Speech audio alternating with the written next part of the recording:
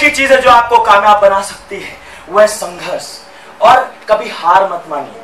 Maximum लोग यहाँ पे ऐसे हैं, जिन्होंने लाइफ में कभी ना कभी कामयाब होने के लिए कुछ ट्राइज ज़रूर मारे। कुछ ना कुछ आपने मेहनत ज़रूर करी है। लेकिन मैक्सिमम लोगों ने बहुत जल्दी गिव अप किया है। मैक्सिमम लोगों ने बहुत जल्दी हार मान ली है।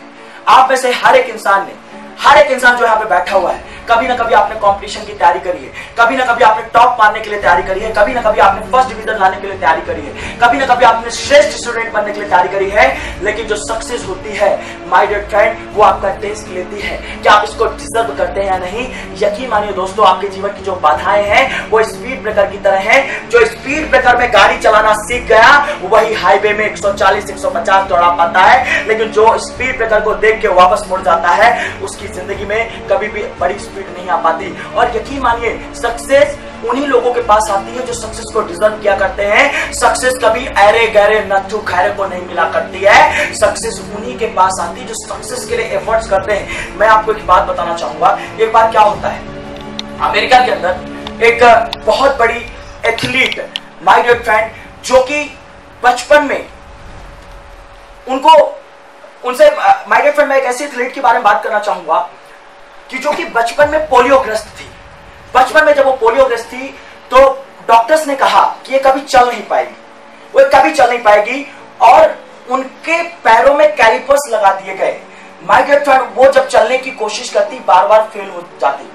माय डियर फ्रेंड लेकिन उसकी जो माँ थी, बहुत महत्वाकांक्षी थी, बहुत पॉजिटिव महिला थी और उसको मोटिवेट करती कि नहीं, तुझे तुझे लगे रहना है, तुझे धावक बनना है। उसने इच्छा जताई कि मुझे धावक बनना है। माय डियर फ्रेंड उसके घर वालों ने उसका मज़ाक उड़ा दिया, लेकिन उसकी माँ ने उसको सपोर्ट किया डोंट वरी बेटा, आप कर सकते हो। एंड वो लड़की नौ वर्ष की उम्र में डॉक्टर की बात उसने नहीं मानी और अपने कैलिपर्स हटा दिए। माय डियर फ्रेंड उसने दौड़ना शुरू किया।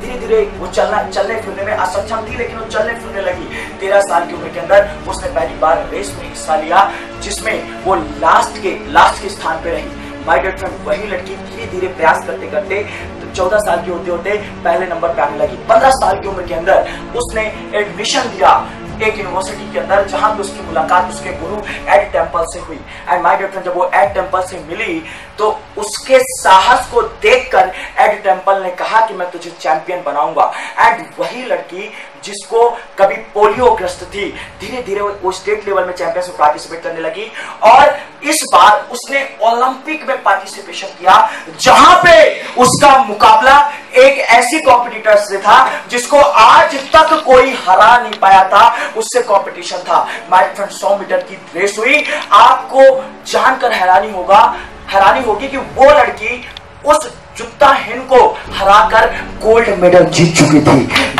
मीटर की रेस हुई। 200 मीटर की रेस हुई।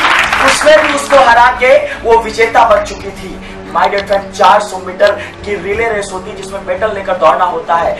और उसमें जो सबसे तेज दौड़ता है, उसको सबसे पीछे दौड़ाया जाता है। और जब वो लड़की दौड़ रही थी उस पेटन को लेकर, उसकी पेटन हाथ से छूट गई, लेकिन फिर भी उसने देखा जूता ढेर उससे तेज भाग रही है, लेकिन उसने हार नहीं माना, दौड़ती रही दौड़ती रही दौड़ती रही एंड वही लड़की उस वर्ष के ओलंपिक के अंदर 100 मीटर 200 मीटर और 400 मीटर तीनों में गोल्ड मेडल हासिल करते हुए दोस्तों गोल्ड मेडल